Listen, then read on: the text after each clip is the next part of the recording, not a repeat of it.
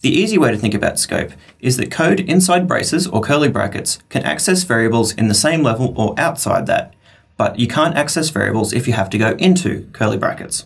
For instance, I've created what's called a global variable, which means it's declared outside any function. It can then be used inside any function, because it would be outside the set of braces.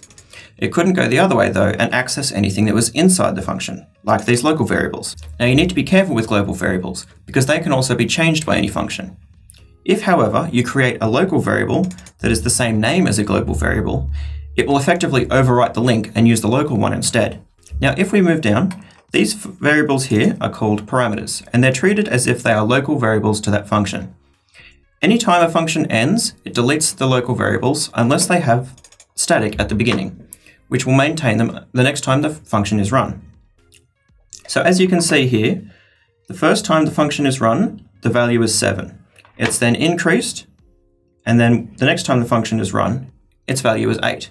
Again, if you have a local variable that is the same name as a global variable, it will use that instead. And the same can be said for parameters.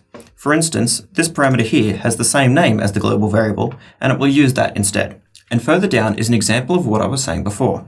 This variable here is only declared inside main, which means the function is unable to access it. It should also be noted that because the function ends and deletes all of its variables and parameters, this won't actually send any data back to main. There are exceptions to this, but we'll be covering those in another chapter. Have a look at the code that I've put on the workshop page and follow through. If you have any questions, put them up on the forum and I'd be happy to answer them for you. This is the end of chapter 2, and I'll see you in the next one.